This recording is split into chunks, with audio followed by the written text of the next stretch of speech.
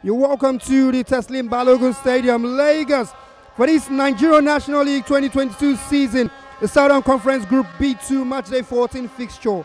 It is Sporting Lagos, here home against Rovers Club of Calabar. The first half is done. Evaluation, rehabilitation, and adjustment time are up. It is back, and it's time for the players and coaches to do battle. For these two sides, three points mean a joint try towards promotion. But Chinedu goes inward and beautiful pass to Agadela. Flicks it over the top for Echo. His control is not beautiful, but he gets the ball down. He's got a man to beat against Tony Anyang. He does well. He sets up Vincent quickly who goes direct to the beautiful goal. Vincent Akiki a devilish bounce of the ball right in front of the goalkeeper, Edwin Uwakama. And he wheels away in celebration, Vincent Akiki.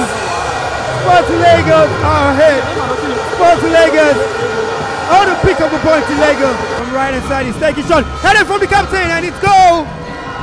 And that's the equalizer for Rovers Football Club of Calabar. He was left on mark, the captain of the side, Valentine Giga. Poor, poor defending. The second 45 minutes is on the way.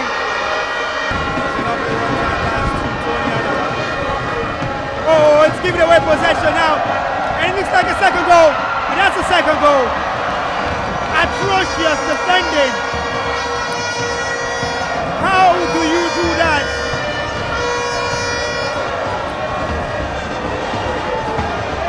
Justice. Caught in possession. Sumbachu brought down on the chest Sumbachu. It slips in Balogu. Chance for the equalizer Balogu. Oh, he misses by a whisker.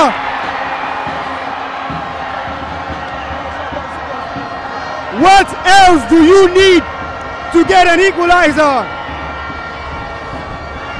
Vincent, Chigospa, Tumbachu, and Balogu who brings it down. Let's put it out. We'll final whistle eventually. All the way they've come.